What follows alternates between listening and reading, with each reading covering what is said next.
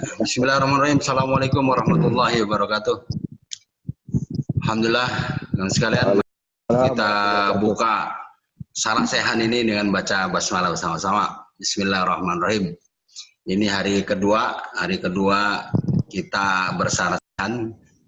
Kita nggak batas sampai kapan ya, insya Allah uh, kita akan berbincang terus dengan Kang Lukman nih, uh, tokoh segala tokoh dalam penulisan buku para tokoh gitu ya. Alhamdulillah Pak Lukman langsung aja kita nyambung kemarin. Kemarin masih pemasan bagaimana cerita menulis uh, sejarah Pak Lukman menulis uh, biografi para tokoh. Rupanya ditulis dengan hati yang bersih. Silakan. Sekarang menulisnya dengan cinta ya. Silakan di sini ada para tokoh-tokoh juga tuh Pak Ahmad Yani, apalagi Mas Imam Suarjo ini kan dari daerah ada Maluku Utara, ada dari NTT, ada dari Jawa Barat, ada juga dari Bu Dada Kholidah nih. Ini saya kenal di Kongres Umat Islam oh. kemarin ini Bu. Ya, apa tuh Pak Lukman? Bismillahirrahmanirrahim. Assalamualaikum warahmatullahi wabarakatuh. Waalaikumsalam warahmatullahi wabarakatuh. Alhamdulillahirabbil alamin wassalatu wassalamu ala asyrafil anbiya'i wal mursalin wa ala alihi wa sahbihi ajma'in. Amma ba'du. Pak Sekjen, para senior ini, ada Mas Imam, ada Cidada, ada ada wakil dari anu juga Mas Sumi Ribon. Atau Ahmad Yani. Dan teman-teman lain. Saya ingin melanjutkan pembicaraan yang obrolan kita yang kemarin sore itu. Saya pertama sekali bertemu muka dengan Pak Nasir itu ketika masih usia 9 tahun. Yaitu pada tahun 66 ketika diselenggarakan tasakur pembebasan tokoh-tokoh umat dan bangsa dari penjara Orde Lama itu di Masjid Agung Al Azhar. Saya diajak oleh ayah saya. Jadi ayah saya itu aktivis GPI, aktivis Masumi. Di saya tinggal di Cikarang di Bekasi. Seperti kata di Bekasi itu pada tahun pada pemilihan umum tahun 1955, Masumi itu dapat 8 kursi. IPKI dapat 7, lalu NU dapat 3 kursi, PNI 2 kursi, PKI dan lain-lain itu masing-masing satu kursi. Jadi bisa dibayangkan Giroh al-Masumiyah, nah, boleh saya sebut, Giroh al-Masumiyah di Bekasi, itu di Kabupaten Bekasi, itu cukup tinggi. Karena Masumi memperoleh kursi terbanyak di Kabupaten Bekasi. Jadi ketika ada tasakur, syukuran karena bapak-bapak itu dibebaskan dari penjara pendulama, saya diajak oleh orang tua saya dan masyarakat umat dari Cikarang itu berbondong-bondong berangkat ke Masjid Agung Al Azhar itu, saya ingat betul, kami naik truk, truk bak terbuka itu. Jadi sudah seperti apa aja mau mau apa mau wisata ke mana-mana orang tua saya itu sudah bikin lontong segala macam itu saya sendiri nggak apa sendiri umur 9 tahun kan tentu belum terlalu apa. Tapi saya ingat betul itu suasana meriah. Di Masjid Agung Al Azhar itu penuh. Nah, kami tidak kebagian masuk ke ruangan kami di situ aja di tangga. Nah itu pertemuan pertama. Tapi itu mengesankan saya. Karena orang tua saya itu selalu kalau ngobrol itu selalu dia sebut Pak Natsir, Pak Prawoto, Pak Saprudin, nah itu membekas. Lalu peristiwa kedua, nah tetangga saya itu, tetangga rumah orang tua saya di Cikarang itu namanya Pak Hasib Ahmad. Hasib Ahmad ini pimpinan DPRD Kabupaten Bekasi dari Masumi. Nah, pada sekitar tahun 66 itu beliau menikahkan putrinya. Di antara tamu yang diundang itu Pak Nasir dan Pak Nasir hadir. Jadi begitu saya mendengar Pak Nasir mau hadir, ini saya masih mungkin SD kelas 2 atau kelas 3 gitu. Saya sengaja bolos sekolah untuk kepingin ketemu Pak Nasir. Nah, Alhamdulillah, jadi begitu diumumkan itu melalui pengeras suara, Bapak Nasir tiba, begitu saya lihat ada orang turun dari mobil, saya langsung merobos itu. Saya sekedar kepingin salaman. Alhamdulillah saya berhasil bersalaman. Nah, apa yang kesan saya dari awal, kesan saya Pak Nasir itu wajahnya, wajahnya itu bersih. Kalau kita lihat Pak Nasir itu teduh. Ya. Jadi itu sudah itu apa?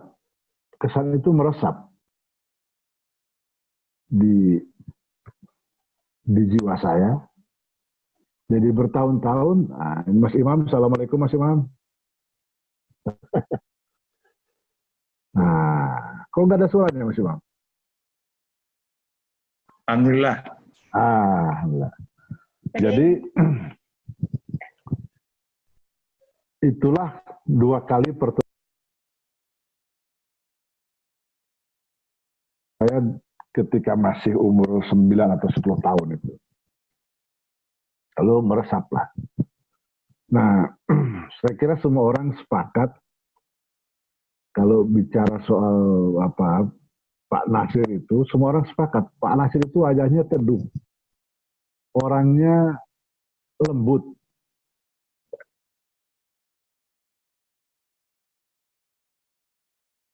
bicaranya santun. Tetapi dan dan saya kira ada harisma tersendiri. Tetapi tidak berarti Pak Nasir itu saya pernah sampaikan dalam satu kesempatan tidak berarti Pak Nasir itu nggak pernah marah. Untuk hal-hal yang tertentu Pak Nasir itu bisa meledak. Jadi misalnya eh, saya di majalah media dakwah pernah menulis laporan menyambut Muktamar Muhammadiyah tahun 90. Nah, lalu karena laporan tentang Muktamar Muhammadiyah, kita wawancaralah tokoh-tokoh termasuk tokoh-tokoh Muhammadiyah. Ada seorang dosen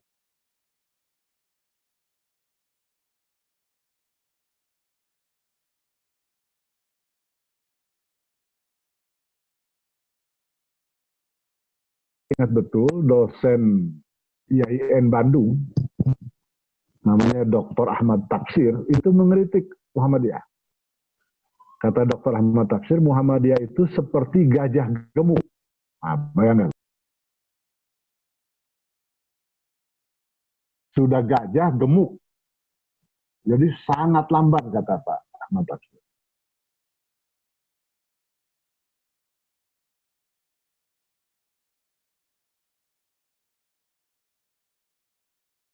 Lalu ucapan Dr. Ahmad Tafsir itu kami angkat dia menjadi judul laporan utama di cover majalah itu. Tetapi berbeda dengan dengan Ahmad Tafsir, Ahmad Tafsir kan dia statement tuh. Muhammadiyah seperti gajah gemuk. Nah kami mengangkat itu menjadi anu kami beri tanda tanya. Jadi Muhammadiyah seperti gajah gemuk gitu pakai tanda tanya. Begitu majalah terbit, saya menyerahkan masuk ke ruang kerja Pak Nasir menyerahkan satu eksemplar majalah itu. Begitu Pak Nasir melihat judul, membaca judul itu,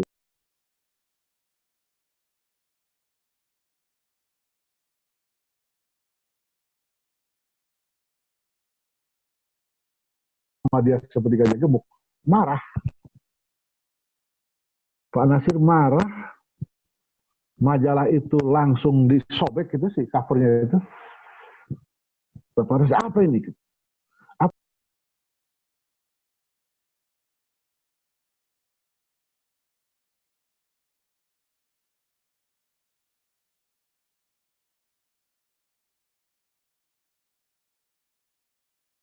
Tidak ada kalimat lain yang lebih pantas untuk saudara kita.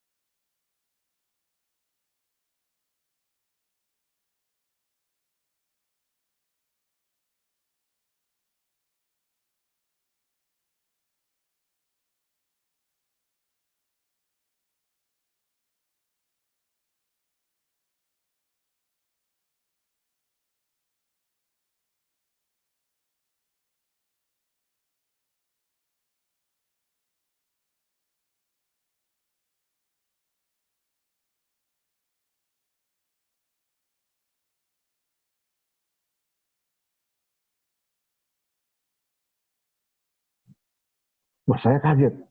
Ini kok Pak Nasir bisa meledak begitu?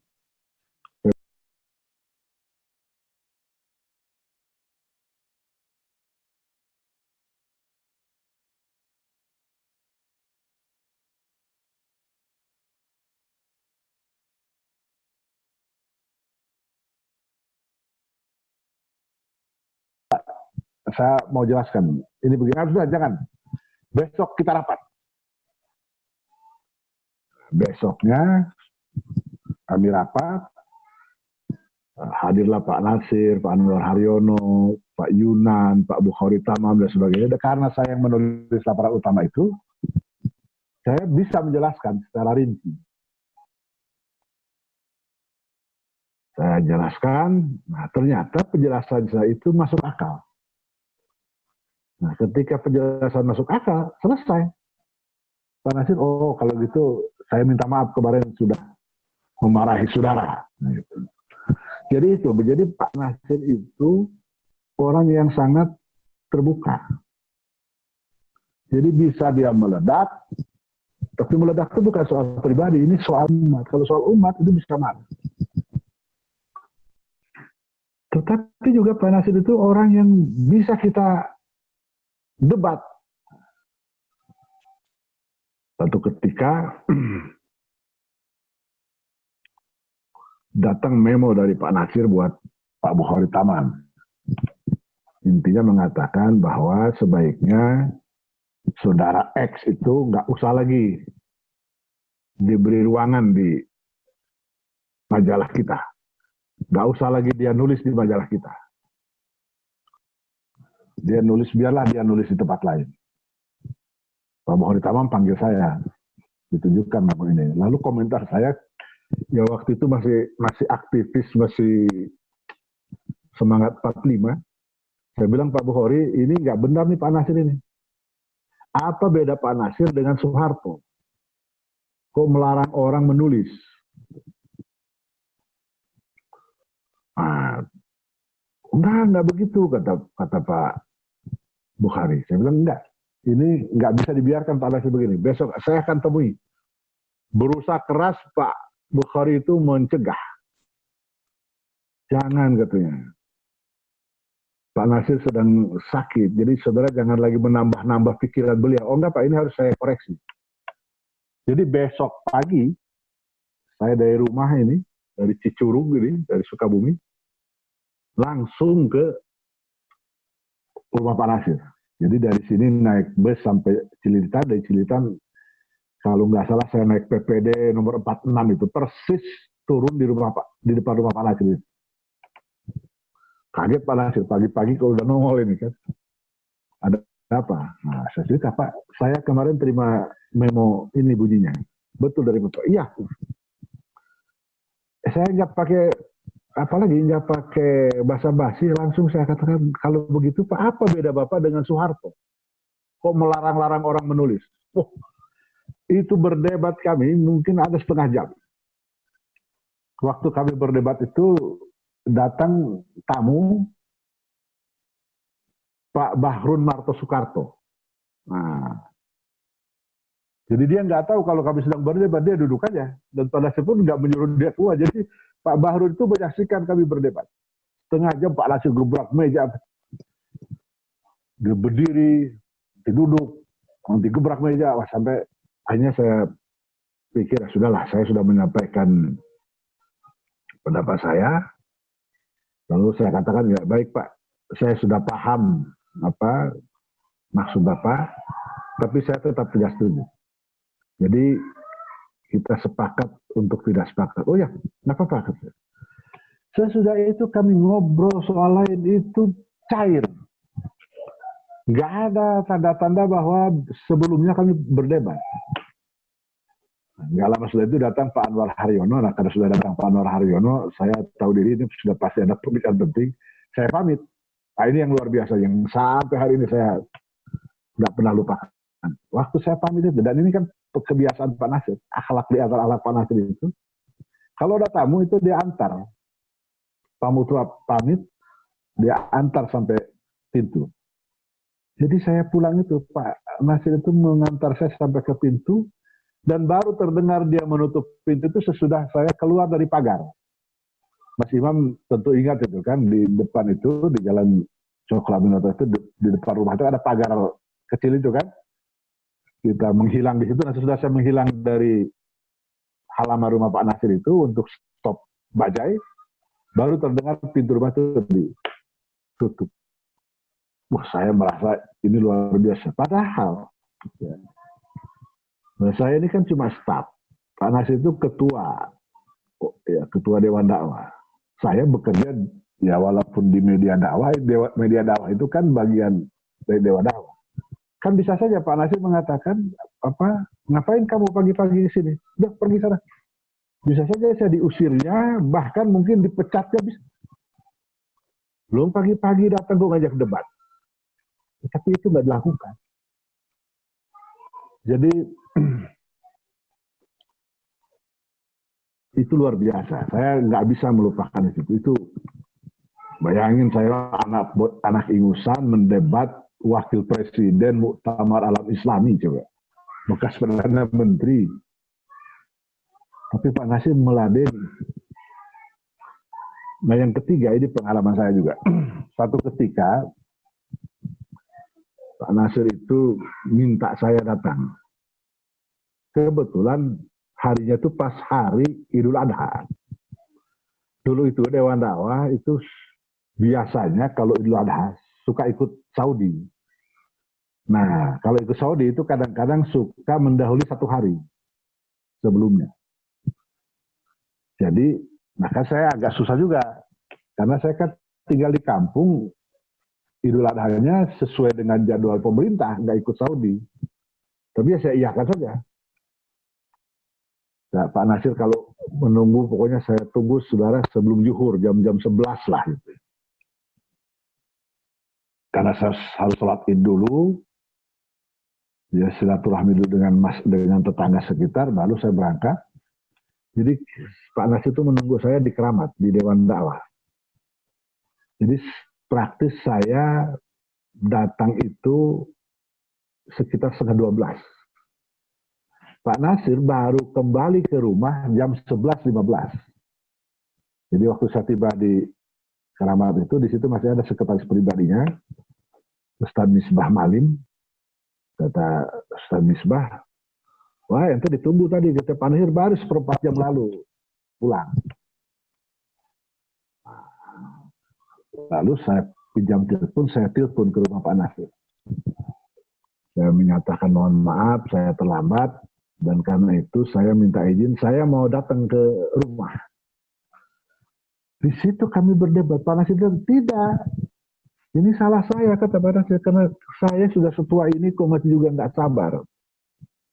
Kenapa saya nggak tunggu saudara barang 15 menit lagi? Enggak Pak, saya bilang nggak apa-apa, saya ke rumah. Enggak, enggak. Yang perlu saudara itu saya. Yang minta saudara datang itu saya. Jadi harus saya datang. Jadi ditolak keras datang ke rumah itu. Pak Nasir kembali lagi. Datang lagi. Jam sekitar jam sudah juhur gitu Pak Nasir datang lagi ke keramat. Jadi inilah menurut saya akhlak seorang pemimpin yang ya luar biasa. Kita bisa ngobrol, kita bisa berdebat, ya. dan dia menghargai. Bayangkan, ketika ketemu lagi saya tanya, ternyata apa urusannya? Ya menurut saya urusannya itu sebenarnya bisa disampaikan lewat telepon. Waktu itu ada kunjungan Paus Paulus apa Johannes Paulus ya. Paus ke apa Johannes Paulus kedua. Kunjungan ke Indonesia. Kemudian Ketua PP Muhammadiyah Pak Air Pak Air Bahrudin itu bikin surat terbuka buat Paus. Judulnya itu saya ingat Sugeng Rauh lan Sugeng Kundur Romo Paus.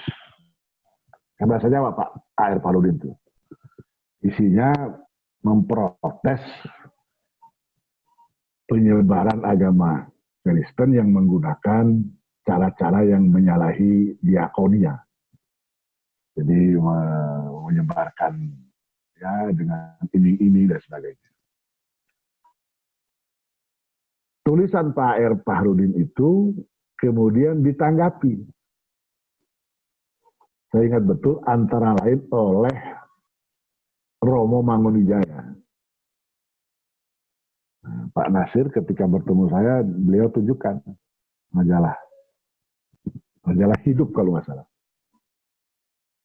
Saudara sudah baca tulisan Pak A.R. Pahrudin. Ya sudah Pak. Saudara sudah baca tulisan Mangun Wijaya ini? Ah, belum Pak. Ini sudah saya fotokopikan satu. Coba saudara baca. Dan jangan biarkan, itu saya ingat untuk kalimatnya Pak Nasir. Jangan biarkan Pak A.R. Pahrudin sendirian.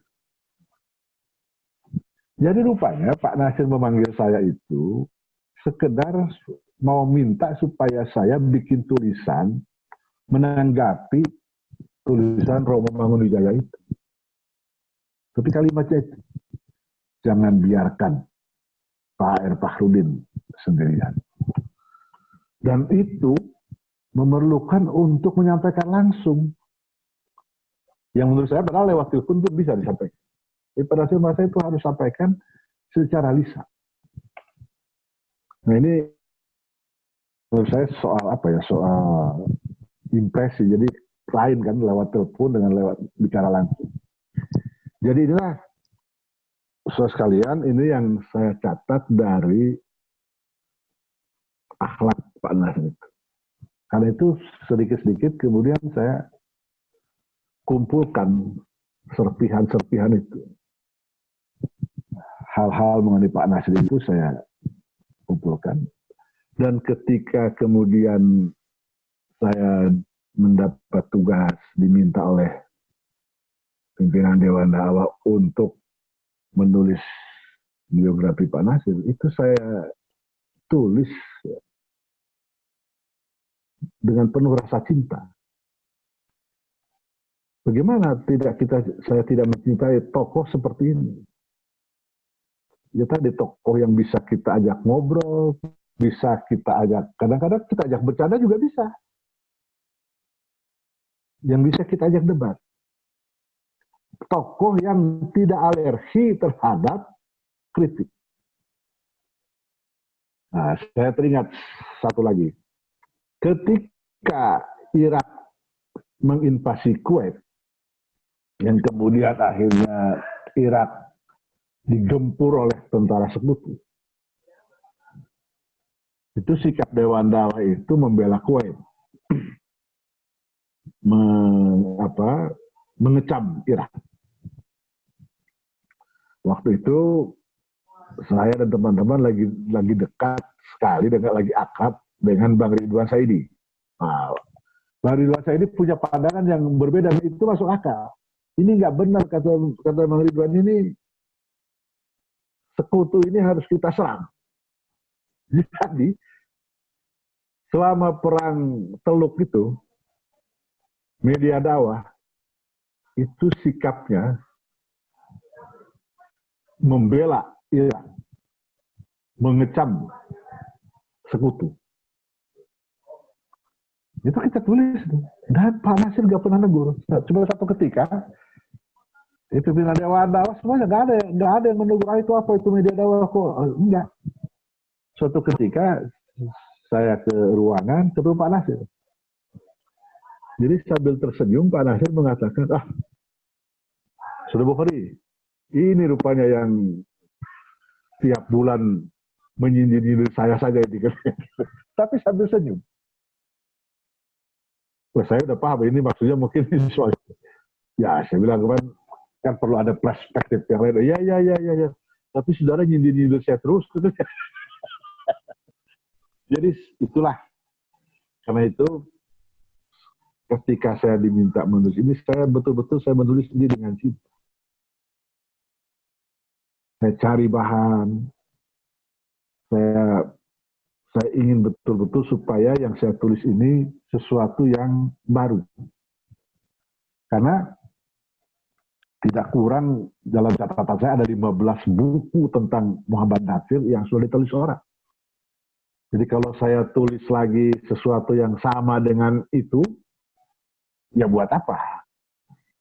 Tentu nggak bisa 100% beda sama sekali, tapi insya Allah perspektif saya berbeda dengan perspektif 15 buku yang lain. Jadi saya karena, saya menulis ini dengan perasaan cinta yang insya Allah ikhlas. Karena itu dari awal saya ingin supaya buku ini beredar luas di masyarakat. Bukan hanya menjadi bacaan kita-kita saja. Tapi ini harus beredar luas di masyarakat karena saya juga punya pengalaman. Dulu saya pernah menulis misalnya biografi Pak Anwar Haryono. Itu di resensi, antaranya yang meresensi itu Republika. Di akhir resensi, jadi bu, si penulis resensi itu memuji buku ini, tapi di akhir resensi dia bilang, buku ini bagus, gitu. informatif, banyak hal-hal baru. Sayang, buku ini susah dicari di pasaran. Nah, saya tidak ingin itu terulang. Jadi karena itu dari awal saya ingin bisa mengatakan ini mesti diterbitkan oleh penerbit yang lebih profesional yang punya jaringan pemasaran luas. Itulah saya kira Pak Sekjen yang saya sampaikan.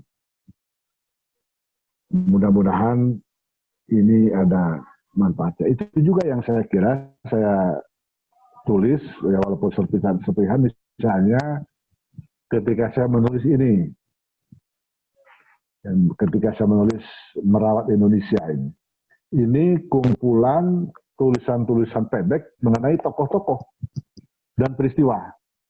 Ada tentang Pak Yunan, ada tentang apa Buya Hamka, ada tentang Pak Sukiman, ada tentang Sultan Sahrir. Juga ini. Ini bahkan ini sampai ke Vence Sumual pun saya tulis.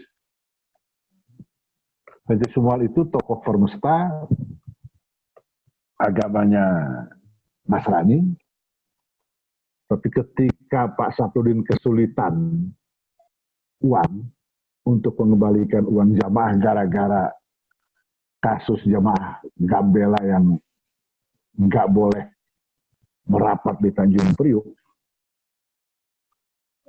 Pak Sap itu sudah jual rumah dan segala macam untuk mengembalikan apa namanya menyelesaikan soal ini nggak cukup. Akhirnya datang ke pense Pak Sap itu mau pinjam uang kira-kira 30 ribu dolar pense itu nggak banyak cakap dia buka cek itu 50 ribu bukan 30. Kenapa? Kata, kata Pak kata PNC, karena saya tahu orang-orang seperti Natsir, Saprudin, Rum, Burhanuddin Arahab, itu kalau dia minta uang, minta bantuan, itu bukan buat dirinya. Itu pasti buat umat. Mereka itu pemimpin-pemimpin yang tahan hidup miskin. Tapi tidak tahan melihat kemiskinan orang lain. Wah ya, lalu menarik lalu komentar Pak Nasir terhadap PNC itu. Ya setengah bercanda kata Pak Nasir PNC semua itu itu salah lahir. Dia itu Muslim yang lahir di keluarga Kristen. Dan PNC mendengar itu ya ketawa saja.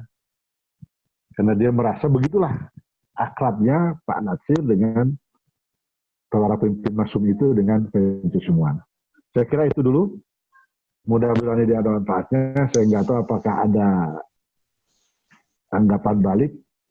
Terserah kepada Pak Sekjen. Sementara itu dulu. Assalamualaikum warahmatullahi wabarakatuh. Assalamualaikum warahmatullahi wabarakatuh. Allah heran uh, Kang Lukman Hakim. Alhamdulillah ya. Kita semakin kagum. Saya berharap uh, para senior ini, barangkali Mas Imam, uh, Pak Ahmad Yani, Ibu Danda bisa menambahkan cerita-cerita yang mendukung ceritanya Pak Lukman ini. Bahwa memang Pak Nasir ini orang yang juga bisa marah gitu ya. Bisa diajak berdebat gitu. Kan susah mencari seorang pemimpin sekarang biasa debat ini kan susah. Ya, itu tadi yang muda-muda sebetulnya. Nih, ada itu, itu Mas Pak, Imam? Anu Mas, Mas Imam itu dia punya cerita tentang Pak Nasir main biola itu coba. Ah, coba. ya. Iya, ceritalah Mas Imam ya. Bisa cerita langsung bertemu atau mungkin eh, cerita yang tidak langsung tapi bisa dipertanggungjawabkan ya. Mas Imam dulu apa Pak Ahmad Yani dulu nih? Ribuan dulu. Wabarakatuh. Waalaikumsalam warahmatullahi uh, Saya termasuk orang yang nggak bosan-bosan kalau udah mendengar atau membaca tulisannya Bang Lukman. Baik tentang Masumi maupun tokoh-tokoh yang lain. Uh, jujur saya kira kita tinggal tidak banyak lagi orang yang mampu menulis sejarah yang mengalami sejarah dengan tokoh-tokoh itu. Eh, dengan sikap yang sebagaimana tadi kemukakan oleh Bang Lukman. Mungkin hanya generasinya udah tinggal Bang Lukman. Kalau dari sini atas udah nggak ada lagi. Memang ada tokoh-tokoh baru yang muncul beberapa saja ada adik-adik kita itu. Tapi kelihatannya eh, pengetahuan mereka terhadap tokoh-tokoh itu bukan karena sentuhan tapi berdasarkan bacaan dan literasi yang uh, literasi dan bacaan oleh mereka masing-masing seperti itu. Nah, karena uh, ada jarak yang memisahkan. Jadi bersyukur betul saya kira Bang Lukman. Bang Lukman ini kalau dalam kategori Rasulullah kan dia sahabat. Ya kan orang yang ketemu dengan yang langs langsung bertemu langsung dengan Pak uh, Pak Nasir. Tapi adik-adik kita sekarang ini kategorinya bukan sahabat ya. Dia ketemu mungkin tidak hanya dengan sahabatnya lagi, dengan tabiin tabiinnya lagi seperti itu. Nah, saya kira Bang Lukman uh, perlu banyak lagi uh, menorekan karena kalau bercerita Mas Sumi ini begitu banyak. Saya belum melihat visi Masumi itu kalau bicara politik dan lain sebagainya begitu banyak. Kita sudah punya 15 punya literasinya dan ditambah dengan karya-karya Bang Lukman. Tapi eh, kenapa begitu Masumi itu begitu besar, ya kan? Apa hanya faktor-faktor tokoh-tokohnya saja atau dukungan lain? Ada ada ada yang lain menurut saya. Nah, saya mendapat jawabannya itu nanti bisa dikonfirmasi juga sama Bang Lukman beberapa waktu yang lalu saya berkomunikasi cukup lama bicara dengan Jabarudin dari Palembang P3 Palembang. Ya. Nah, saudara Jabarudin ini dia menceritakan begitu pasif juga kayak Bang Lukman. Tapi memang lokalnya adalah dalam konteks lokal Sumatera Selatan. Menyangkut bangsa juga adalah Babel, Bangka Belitung tentang uh, Masumi itu. Nah ternyata ada faktor lain yang menurut saya diceritakan, begitu kuatnya dukungan para saudagar ya kan dukungan para uh, pedagang-pedagangan pedagang itu terhadap uh, Masumi sehingga Masumi itu saya nggak tahu nih coba konfirmasi dan Makuman kalau sekarang ini kayak kurator apa apa itu dia punya juga unit-unit usaha ya yang yang seperti itu yang diusahakan yang hasil dari usaha itu mereka baik orang per orang itu yang dia sumbangkan uh, kepada Mas, Masumi kalau kita lihat juga uh, saudagar-saudagar uh, di Pekalongan nah itu menurut saya belum ada yang menuliskan yang mengangkat Masumi dalam perspektif ekonomi. Nah, Masumi dalam perspektif agama sudah ada, Masumi dalam perspektif politik, sikap politiknya sudah. Tapi bagaimana Masumi dalam perspektif ekonomi itu baik dengan kebijakan-kebijakannya. Karena beberapa tokoh Masumi itu pernah memegang tumpuk-tumpuk kepemimpinan di uh, sektor-sektor uh, ekonomi kayak Pak Pak Prudin ya kan dan lain sebagainya. Nah, kebijakan-kebijakan dalam sektor ekonomi dan maupun dukungan terhadap itu kita kekurangan uh, literasi tentang itu Bang Lukman. Mungkin Bang Lukman yang bisa uh, lagi uh, melacak dan menuliskan itu. Itu uh, permohonan sesungguhnya. Nah yang kedua, saya kenal Pak Nasir ini kan karena saya relatif lebih muda dari Bang Lukman. Tentunya kenal Pak Nasir ini setelah saya masuk HMI. Yang bisa betul ya mendengar namanya ya karena Sumsel itu juga daerah yang Pak Sumi menang. Artinya ya keluarga besar saya ya Mas Umi lah ya tentu uh, Muhammadiyah bahkan Muhammadiyah itu lahirnya dari kampung halaman Pak Air Parudin juga itu udah bagian kayak keluarga keluarga kita karena dia pernah tinggal lama di kampung halaman saya pernah mendengar selintas-selintas tapi tidak begitu konten karena masih anak-anak SD SMP seperti itu. Nah baru mengenal sosok Pak Nasir itu setelah saya masuk HMI. Ya, setelah HMI tentu uh, kita diwajibkan membaca-baca buku dan lain sebagainya. Itu baru itu pun belum ketemu fisik. Baru ketemu fisik dengan Pak Nasir itu adalah gonjang-ganjing azas tunggal. Nah, tahun 85 nah. Baru di situ uh, kita ketemu dengan Pak Nasir setelah kita minta sikap bagaimana harus mengambil dan saya melihat bahwa Pak Nasir itu dalam hal-hal uh, memberikan keputusan dia tidak pernah mendikti. Dia menyerahkan dia memberikan gambaran pikiran ya pertimbangan-pertimbangan. Tapi keputusan air diserahkan diserahkan juga kepada kita untuk mengambil keputusan. Itu yang me me menurut saya dengan memberikan argumentasi. Saya ingat pada waktu itu Pak Nasir mengatakan selama tiga Maret coba baca buku saudaranya Deliar Nur itu baru terbit itu nah pada waktu itu kan baru terbit bukunya Pak Deliar Nur uh, Islam Pancasila dan Azas Tunggal seperti itu. Nah, dia coba baca itu. Nah, setelah itu kita baca dan kita tahu sikap pada waktu itu kan HMI terpecah dan kita, saya mungkin termasuk golongan yang kelompok yang uh, mendukung MPO. Setelah setelah itu kita berkomunikasi mulai intens sesungguhnya karena kita dikucilkan pada waktu itu. Yang satu-satunya orang tua kita yang bisa berhadapan itu uh, adalah Dewan Dakwah, keluarga dan dia juga yang memberikan eh, referensi-referensi sehingga HMI MPU itu menjadi perwakilan baik di WANI maupun EFCU seperti itu. Itu yang, yang menurut saya. Tidak hanya itu, dia tahu bahwa kita membutuhkan aspek dana, dia bantu juga tapi melalui Pak Aim Lutfi. Saya ingat betul itu ya, kalau saudara, kalau saudara butuh apa-apa, coba hubungi uh, Pak Aim Lutfi. Ya, kita kasih alamatnya, maka kita waktu itu sempat bersilaturahmi dengan Pak Aim Lutfi itu di tempatnya di daerah Rawamangun tersebut.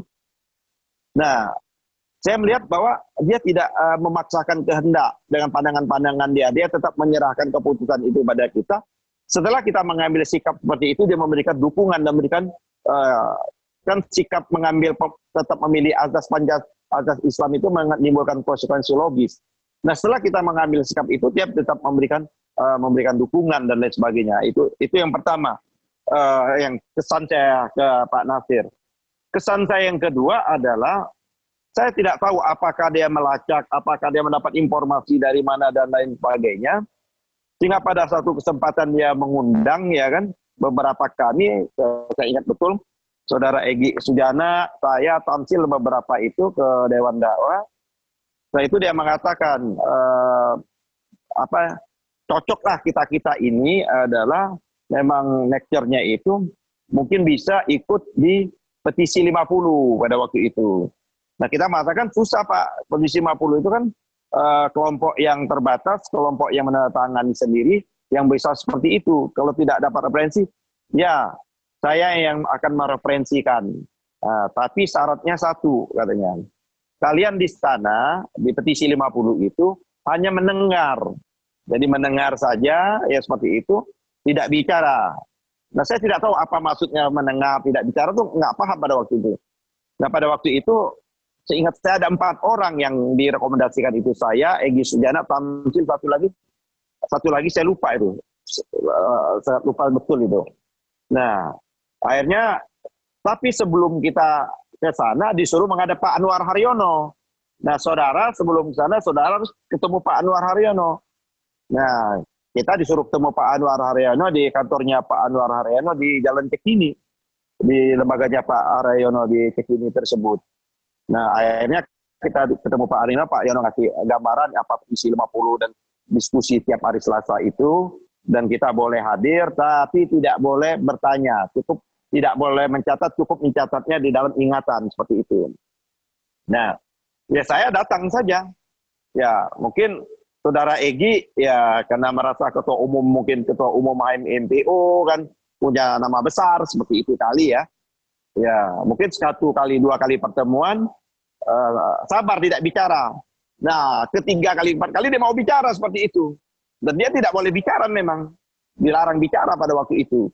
Nah, Berikutnya kami dipanggil lagi oleh Pak Nuaryono. Kan sudah disampaikan di sana itu seperti ini yang merekomendasikan dari tokoh-tokoh Islam Pak uh, termasuk salah satunya adalah Pak Pak Nasir.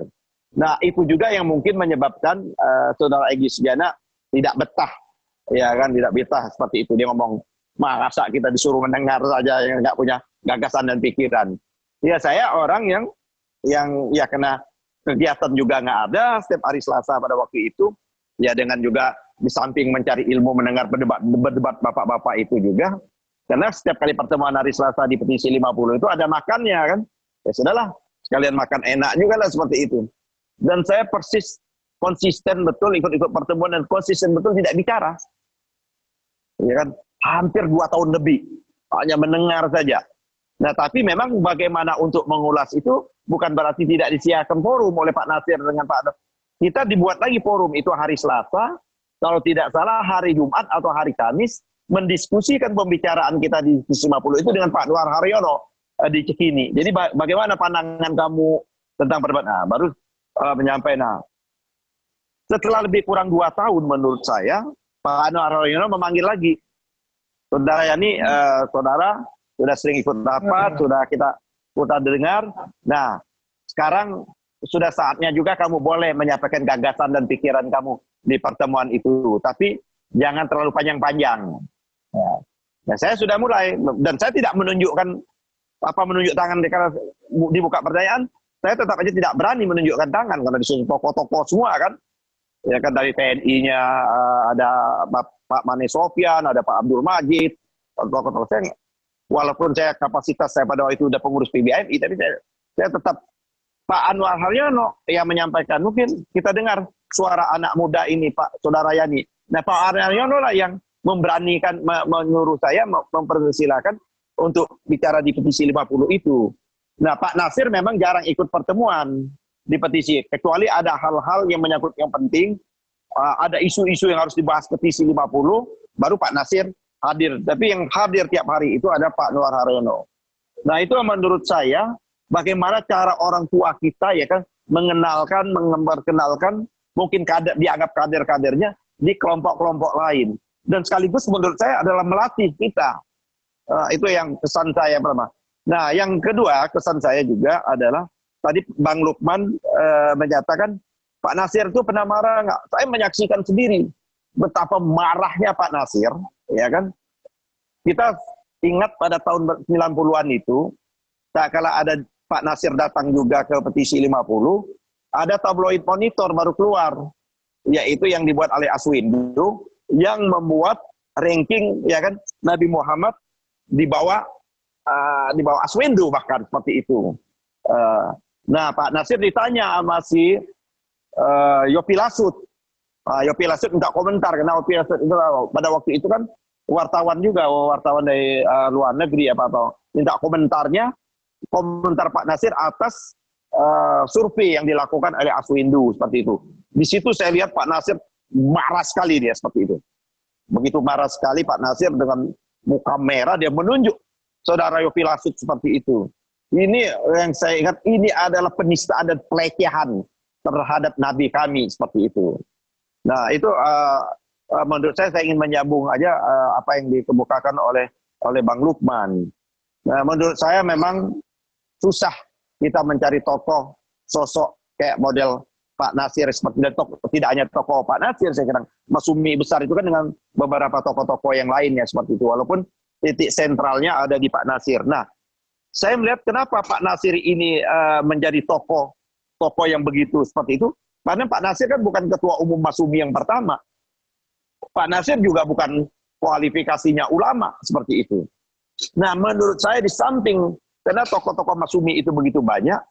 Pak Nasir ini menjadi menurut saya apa ya pen, titik temu dari berbagai macam tokoh itu atau menjadi katalisator ya kan dari berbagai macam tokoh pemikiran yang ada di Masumi itu sendiri menjadi dia menjadi representasi bisa menampung berbagai macam aliran pikiran-pikiran yang ada di Masumi itu sendiri atau tokoh-tokoh Masumi itu. Nah, saya lihat tak kala itu mungkin yang sekarang ini agak jarang ya kan? Walaupun uh, berbeda pandangan politik berbeda pandangan ideologi sama sekali sikap-sikap itu juga uh, agak agak susah kita lihat dengan tokoh-tokoh yang ada sekarang ini. Nah begitu juga Bang Lukman sering memberikan saya data-data ya kan uh, tak kala saya di Dewan Dawa dianggap tokoh si A waduh pernah juga saya di Pakam saya bilang gimana tokoh si A saya ajaran si aja nggak kenal dan lain sebagainya seperti itu kan. Nah ternyata ada pendapat saya waktu saya DPR itu pada waktu kasus di Madura pada waktu itu kasus si A dan Suni itu kan. Nah ada yang menyatakan tentang saya dianggap minta MUI mencabut statement bahwa si A itu adalah aliran sesat. Nah itu diputar balikkan oleh yang delegasi yang hadir pada waktu itu karena delegasi hadir itu dari kawan orang kelompok-kelompok si A itu ketemu kawan eh, Pak Marzuki Ali. Pak Marzuki Ali minta kami menampingi karena kami pada waktu itu yang turun ke lapangan ke Madura.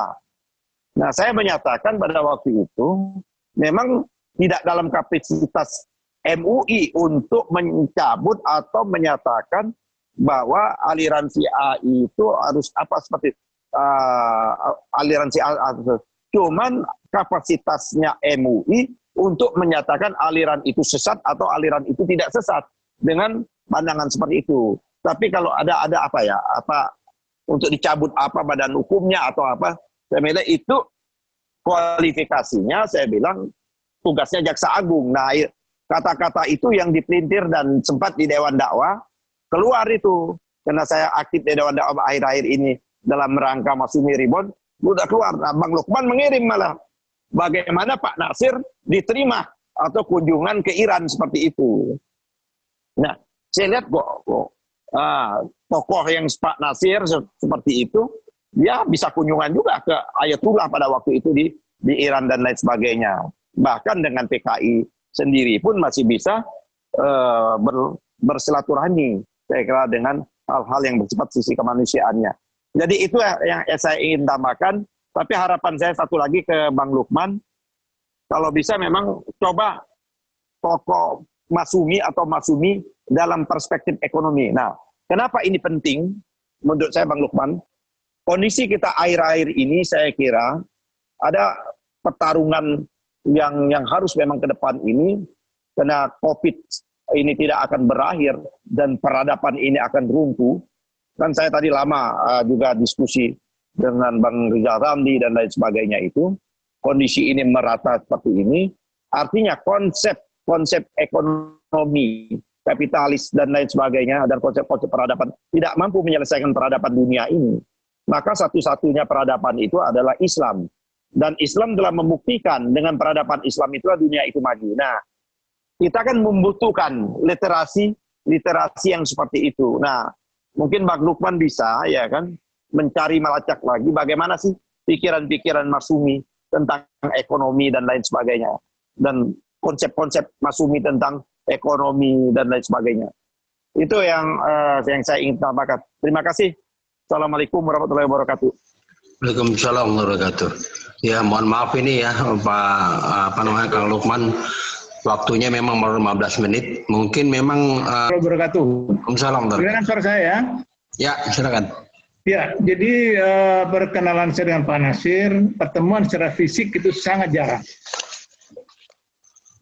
Bahkan uh, apa namanya baru secara fisik itu ketemu yang lebih agak banyak itu di Jakarta. Tetapi sebelumnya pernah ketemu di Jawa Timur. Tapi kenal nama Pak Nasir sejak saya kecil mula sejak saya di sekolah PGA, saya TBPI, ayah saya mantan sekretaris Masumi anak cabang sering bercerita tentang Wanasir.